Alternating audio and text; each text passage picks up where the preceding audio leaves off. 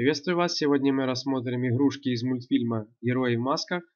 Размер данной фигурки 7,5 см. Сделана из пластика и резины.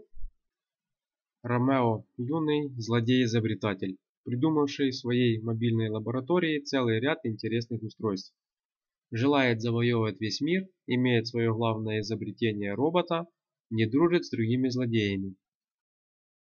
Ножки и ручки у нас сгибаются совсем ну, чуть-чуть, но получше, чем у остальных персонажей. Ручки то же самое у нас идет, совсем чуть-чуть все гнется. Данную фигурку вы сможете приобрести в интернет-магазине Медвежонок, город Киев. До новых встреч!